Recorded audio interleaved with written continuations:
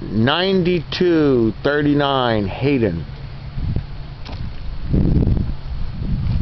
Aluminum siding, frame bungalow, detached garage, vacant, roof pour.